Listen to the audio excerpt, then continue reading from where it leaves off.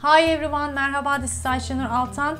In this episode, I'm taking you to my favorite Turkish delights and sweet shops in Istanbul. We're gonna take a closer look to different kind of Turkish delights and sweets, the story behind how they make it, how you can understand the best Turkish delights, what are the basic ingredients and more. So let's get started.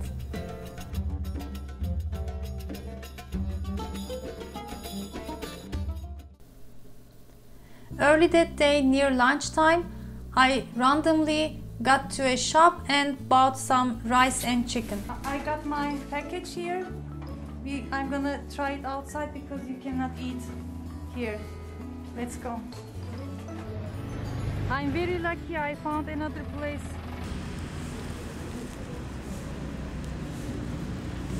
Hmm. Very good.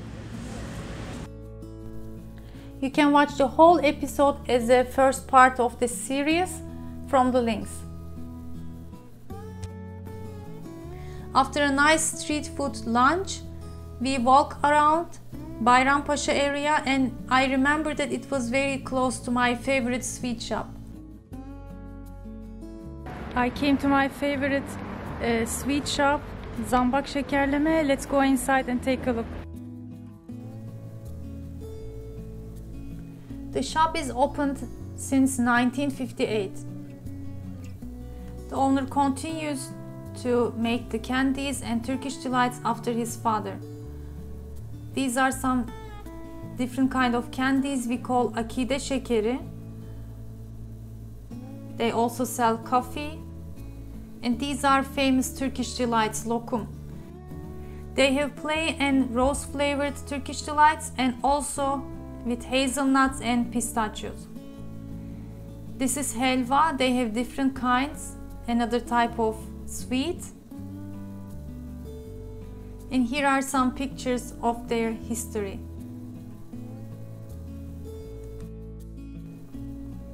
This is his father and the first sweet shop in Bursa İnegöl. He says that the shop is still there. If you go, you can see it. O kıvam inan birçok yerde denedim yani bunun gibi olmuyor. O yumuşak biliyorum. Kıvamını göstereceksiniz. Evet evet. Şu 4 ay dursun. Buradan üstten e, gevrek yapar, kabuk yapar.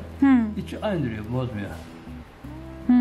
Çünkü Neden peki o kıvamı yakalamak? Bir saf şeker, ikincisi e, reçetesi farklı. Söylemiyoruz ya. Tabii. 7-8 lira, 9 lira lokum satıyor. Nasıl yapıyorlar onu? İşte e, lokumun suyunu tutan bir madde var, glikoz var. Ha. Bir de limon tuzunu fazla koyarsan ne olur? E, buharlaştırmadan sıkılıyor. Ne oluyor? Kilo Sakız gibi hem de. So it means you have to really know where you are going to buy Turkish delights. And the taste difference is really high when you compare the one with glucose syrup and pure sugar.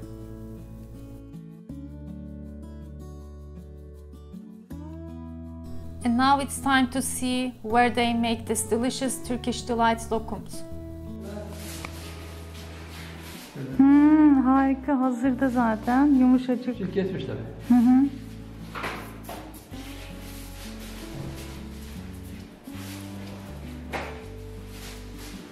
Bu buladığınız nişasta mı?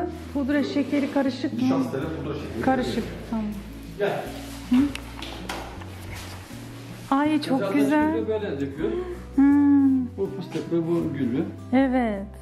Şimdi Hazır hepsini. Ha. Burada e, biraz soğuyor döktükten Biraz sonra. dediğim, e, 8 saat. 8 saat döktükten sonra. Hı hı. Soğuk tüneli gözden gene soğumuyor. Hmm, Böyle bir özelliği var. anladım. Nereye batı gidiyor. Hı hı. Bunu 74'ten beri çalışıyorum. Ha, evet. Ha bu kalan parçaları. Kalan parçalar. Onları ne yapıyorsun? Kadın atıyor. Ha Bunlar tekrar eriyor. Aynen. olacak ama glikoz olsa olmaz. Hmm, tamam o zaman Erimiyor ki. doğru. O bir saati var. Oradan tekrar yapılıyor. Kenar var ya. Hı hı. Şurada mesela. Hı hı. Evet.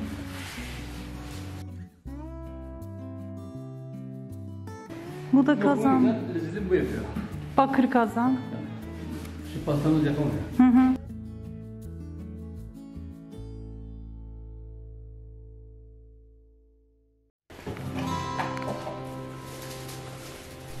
Okay, now it's time to get our delicious lokums.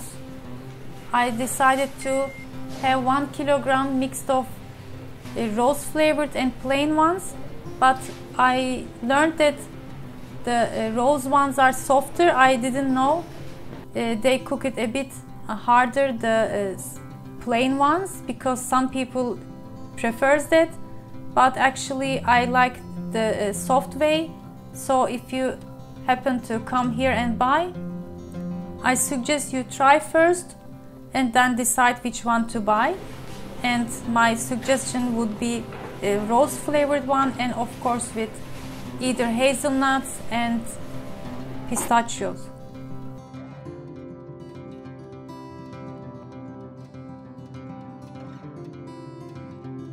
And these are my friends another type of uh, sweet which is helva. Uh, this is summer helva. We call it yaz helvası and this one has more uh, tahini. They have these different textures. Uh, the summer helva, the darker one is uh, has more like caramel color and taste. They both delicious. And this one with package is more like a candy version of the uh, summer helva.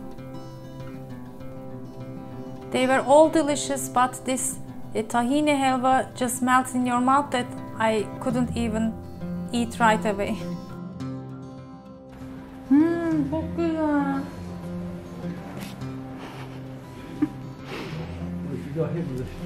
Ha ha şimdi bu evet. E bunu da burada mı yapıyorsunuz? Kazandı mı? Lokum kazanı oyunlar. Evet aynıydı. Aynı. Ha. Hay bir gün size yani çırak olarak gelsem çeksem o arada.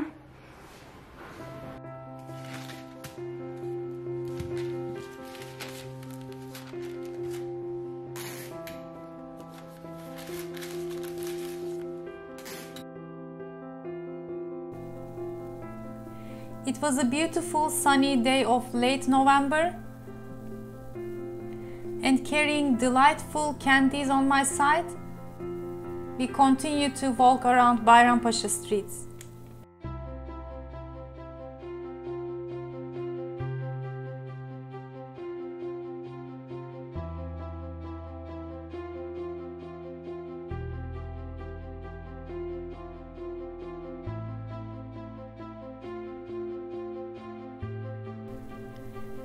Another chicken and rice shop.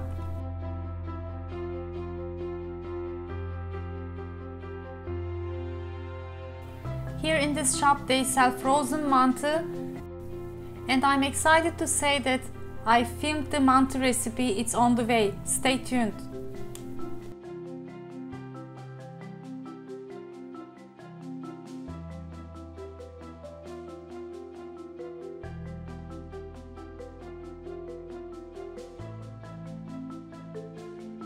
Another famous street food çiğ köfte. I already shared the recipe. Check from the links. Here is another shop with dried herbs and uh, teas. It also has grape leaves. It is used to make dolmas, sarmas either with uh, meat stuffing or only with rice and some spices. I showed you how you can uh, store these delicious grape leaves from fresh to use year long. And here is another one of the essential ingredients in Turkish cuisine, tomato and red pepper paste. And guess what? You can make your own tomato and red pepper paste too.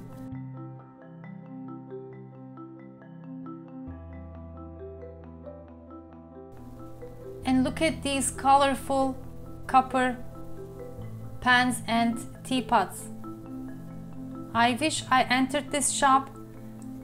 Hopefully, maybe next time.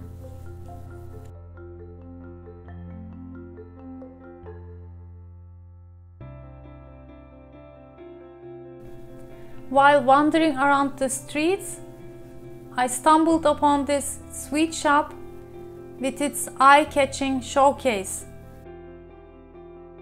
They have traditional sweets like tulumba, kabak tatlısı, pumpkin dessert, halka tatlısı, which is another fried dessert,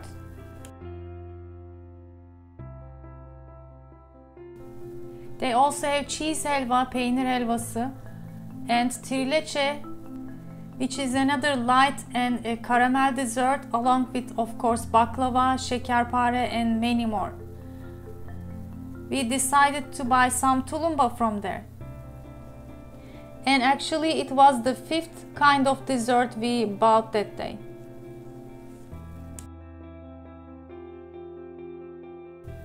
So, my friends, in a way, it was a sweet, delightful day I had.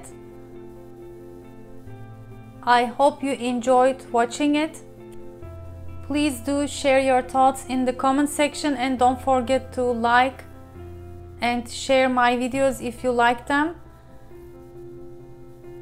I have many vlogs about Istanbul, street food, and recipes